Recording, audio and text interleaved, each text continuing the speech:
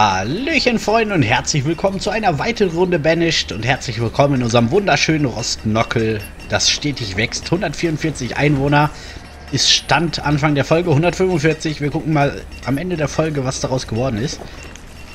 Wie viel wir so pro Folge an Gewinn machen, an, an Einwohnergewinn. Vielleicht schaffen wir es ja auch hier einige Häuschen fertigzustellen. Wir haben irgendwo haben wir 74 Steine gelagert. Hier lagern sie auf jeden Fall nicht. Ich weiß nicht, wo sie lagern. Irgendwelche Taschen von irgendwelchen Leuten. Hier ist auch noch was. 13, 1. Hier sind 5. Wie die das einfach mal überall verteilen. Hier unten sind 25. Ist ja nicht so, als wäre hier direkt Lagerplatz, ne? Ist ja nicht so, als müsste man hier runterlatschen, um das hier abzulegen. Aber okay. Wenn ihr das so wollt, bitte. Tut euch keinen Zwang an, aber meckert hinterher nicht rum. Was sagen denn die Werkzeuge? Wir müssen mal schauen. Eisenwerkzeug 226, Stahlwerkzeug 22. Also Eisenwerkzeug lässt so langsam nach. Das ist das, was wir wollen. Es wäre auch nicht schlimm, wenn wir Eisenwerkzeug noch im Lager hätten. Die nehmen sich eh Stahlwerkzeug, wenn sie es haben wollen. Hm, aber ich hätte gern das Lager voll mit Stahlwerkzeug. Auch schon wieder so viel Kohle. Wo lagert denn die ganze Kohle? Hier sollen 165 Kohle irgendwo sein. Und irgendwer klaut sich Kohle. Und ich schwöre euch, die Ärsche heizen mit Kohle. Wenn ich hier irgendwo Kohle finde... Was ist das denn hier? Das ist doch kein Privathaus. Das ist ein Lager hier. Alter, ist das euer Ernst? Was ist los mit euch? Hier, er hat Kohle. Ihr Ärsche. Wer seid ihr? Steinmetz, Bauer, Schüler, Kind, Kind. Ja, oh, 20 Kohle. Was ist falsch mit euch? Warum 83-jährige Verkäuferin lagert einfach mal das halbe Rosten-Nockler Lagerinventar hier ein? Was ist los? Okay, wir schmeißen die Arbeit wieder an. Wir, wir lassen die Schmiede wieder arbeiten. Ist egal, dann haben wir halt Eisenwerkzeug noch da drin. Aber dann äh, verbrauchen wir wenigstens die Kohle lieber für Werkzeuge, als dass die damit heizen. Die sollen hier mit Holz heizen. Ich baue nicht umsonst hier so viel Holz an. Freunde, so nicht. Der Markt ist übrigens fertig, Freunde. Und das erste Haus. Ich hatte übrigens noch einen Verkäufer eingestellt, weil jetzt haben wir 2-2. Der Verkäufer wird natürlich jetzt hier viel zu tun haben. Die müssen jetzt jedes Mal hier rumdüsen mit ihren Karren. Und müssen das von dem einen Markt zum anderen karren. Aber das ist halt so. Damit müssen wir leben. Wir haben neun Kühe. Das heißt, wir können gleich teilen. Yes! Nice. Reichen denn die drei Häuser hier oben dann? Ich weiß es nicht. Hm, wir werden sehen. Wir werden sehen. Sprach der Blinde. Oh, da kommt äh, unser Kollege wieder. Hoffentlich mit sehr vielen Steinen. Würde ich ihm schön teuer abkaufen. Egal wie teuer. Sache Stein. Oh, Rinder. Hm. Rinder für Brennholz. Sechs Stück. Würde dem Ganzen natürlich einen Schub nach vorne geben, ne? Wir müssten äh, warte mal, 100... 200 Brennholz pro Kuh. 1200 Brennholz. Geht, oder? Machen wir einfach. Machen wir einfach. Ist doch egal. Ist doch egal. Soll der doch hier... So. Jetzt machen wir folgendes. Hier werden jetzt Rinder gemacht. Wir stellen noch zwei Leute ein und teilen die auf. Dann haben wir 2 mal 8. Und bekommen so hoffentlich schneller. Die laufen sogar durchs Gatter. Das ist ja klasse. Okay, sind richtig schlau, die Kühe. Wahnsinn. Ja, Steinvorräte sind fast aufgebraucht. So ist das eben. Was sagt denn die Nahrung? Die Nahrung ist wichtig, aber wir haben 12.000 im Lager, also so schlimm kann es nicht aussehen. Und wir machen deutliches Plus, fast, fast 3.000, 2.500 Plus machen wir. Äh, nice. Und dieses Jahr noch mehr. Es läuft. Es läuft, Freunde. Hier sind schon zwei von wie vielen Häusern? Von acht fertig. Das ist gut. So, jetzt tun die natürlich hier das ganze Brennholz rauskarren. Vielleicht sollte ich das mal auf 1000 runterschrauben. Äh, dass die wirklich nicht... Weil sonst, die kommen auf komische Ideen. Die holen sich die ganze Kohle hier aus dem Lager. Die äh, teure, gute Kohle, die wir für unser Werkzeug brauchen, ziehen die sich hier raus. Da sind die eiskalt, da kennen die gar nichts. Deswegen müssen wir da so ein bisschen aufpassen. Weil ich würde auch ungern noch mehr Bergarbeiter jetzt einstellen, weil im Moment funktioniert das alles. Ja, wir haben Eisen, wir haben Kohle, äh, wir haben tatsächlich auch 40 Stein, ja, was mich wundert. Und ich glaube, es hapert einfach nur daran, dass die Leute das hier hinbringen müssen. Weil, wie gesagt, Stein hier an allen Ecken der Welt gelagert wird, unter anderem hier unten im Wald. 25 Stein. Ihr seid so Bananen in der Birne, das ist der Wahnsinn.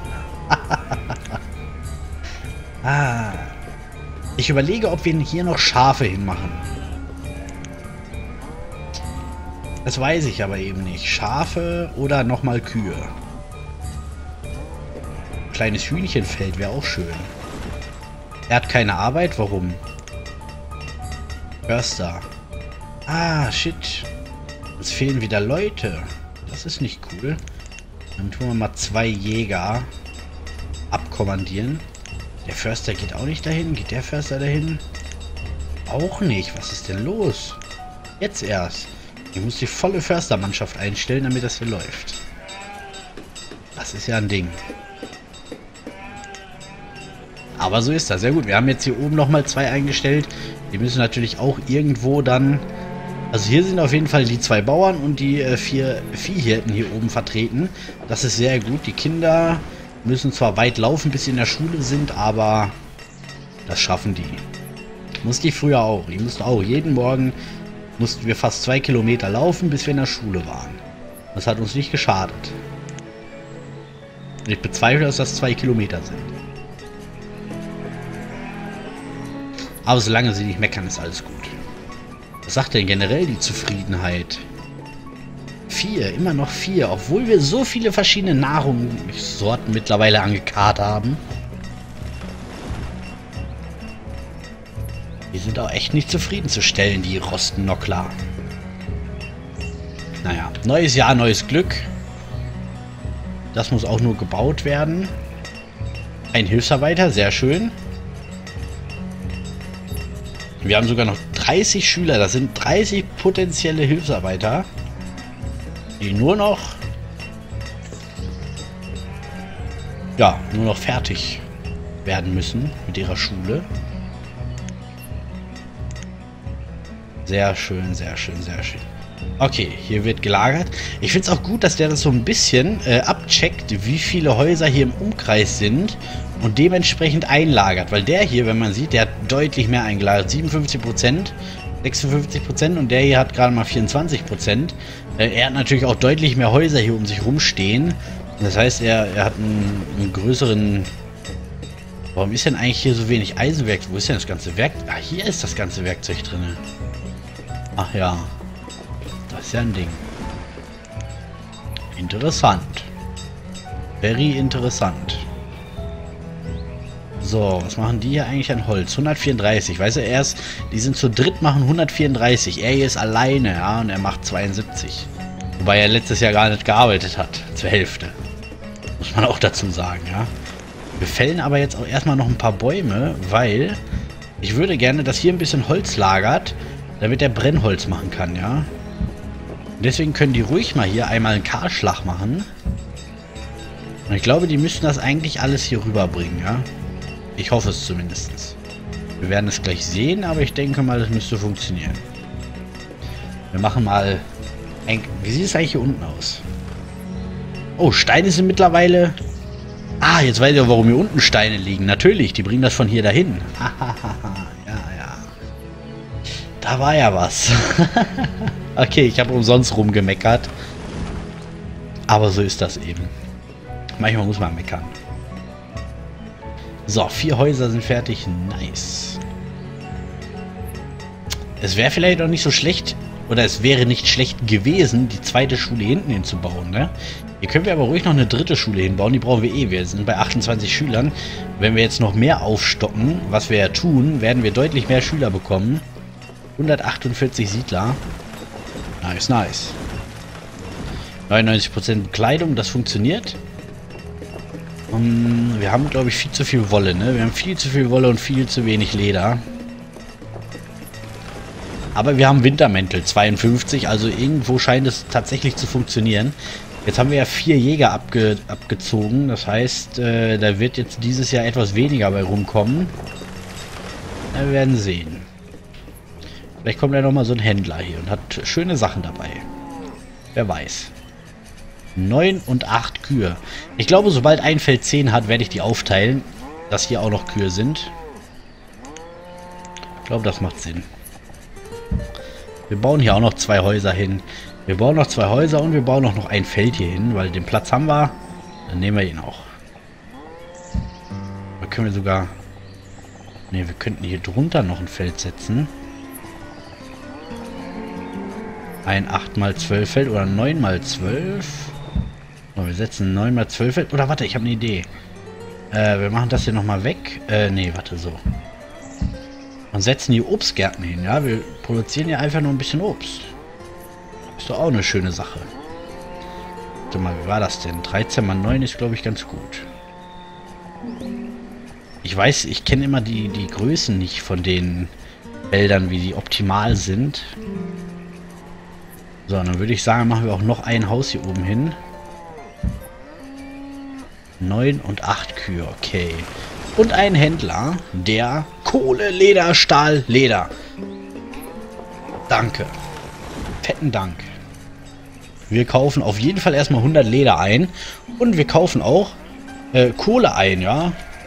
Und zwar nicht wenig, nämlich 300 Stück. Ja, habe ich jetzt beschlossen. Und sollen wir die Stahlwerkzeuge kaufen? Hm. Ne, wir kaufen Kohle, da stellen wir das mit her, ne? Ne, wir kaufen Stahlwerkzeuge. Jetzt, mich wird's schon... Komm, wir kaufen 50 Stahlwerkzeuge. 3000 irgendwas, das ist kein Ding. Das kriegen wir hier locker raus. So. Viel zu viel. Dann ziehen wir einen ab. Wollen ihm ja nichts schenken. Und dann handeln wir. Auf Wiedersehen. Bitte beehren Sie uns bald wieder. So, hier lagert jetzt ein bisschen Holz. Das ist gut 62, weil dann ist der Holzhacker nämlich, glaube ich, ein bisschen besser beschäftigt. Hier unten, der ist sowieso beschäftigt. Allerdings ist hier, glaube ich, das Problem, dass das Lager einfach nicht ausreicht. Bringt es was, wenn ich dahinter noch ein Lager setze? Ein kleines, schnuckeliges, irgendwie hier so vielleicht. Ja, klein ist auch was anderes, ne? Äh, komm, wir machen noch ein 5x10 Lagerfeld dahinter. Weil ich will, dass der hier durchgehend am Arbeiten ist. Und wenn der nicht arbeiten kann, weil der hier hochlatschen muss, um irgendwelche Sachen abzugeben, dann macht das wenig Sinn. Deswegen Attacke. So, hier liegt so viel Kohle rum. Ah, jetzt holen sie das auf einem. Ah, ja, okay. Der Herbst, die Bauern sind fertig, ich verstehe. Ich verstehe. So, die sind natürlich voll, ist klar. Aber jetzt nicht mehr. 450 Werkzeuge können wir ruhig mal produzieren. Ist, denke ich mal, kein Thema. Wie sieht das hier aus? Hier fehlt ein bisschen... Äh, warum fehlt hier Stein? Wir haben 91 Stein gelagert irgendwo. Hier alleine liegt schon äh, ein ganzes Haus fast rum. Hier unten müsste dann jetzt auch einiges liegen, oder? 36. Ist doch nice. Das hier wird, denke ich mal, auch noch verarbeitet. Da läuft einer, da kommt einer. Alles, alles tutti.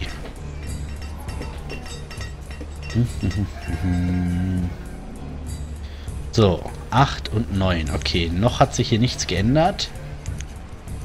Wer weiß. So, der Winter ist da, der Spätherbst, schalalala. Die Nahrungsproduktion, die läuft. Wir machen fetten Plus. Ich bin zufrieden. Holz wird gehackt. Alter, die lagern die ganzen Kohle hier ein. Was ist denn falsch mit euch? Ach, der hat das vorhin gar nicht dazu gezählt, oder? Oder was? Wir könnten ja hier oben noch ein Wirtshaus hinbauen, ne?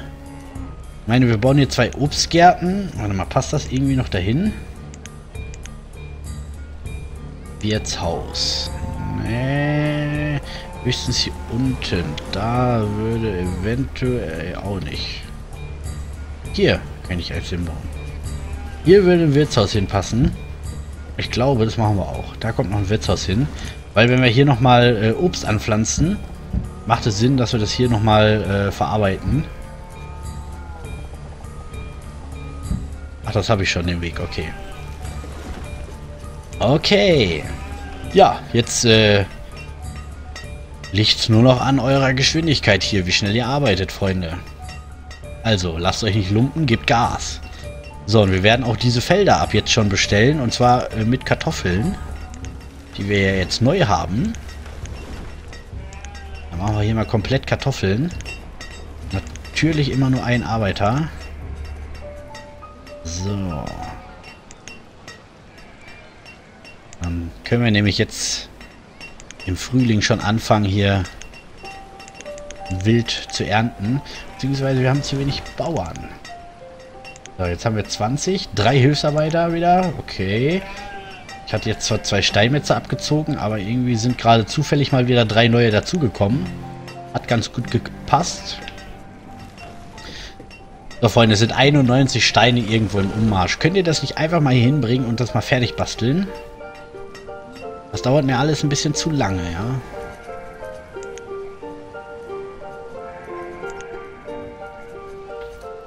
Ah, es wird schon klappen. So, der Kräutersammler Sammler sammelt. Wird das eigentlich auch verbraucht, das Kräuter? Das, das Kräuter, wird das Kräuter verbraucht? Eigentlich schon, ne? Wenn es abnimmt, wird es verbraucht. Hm.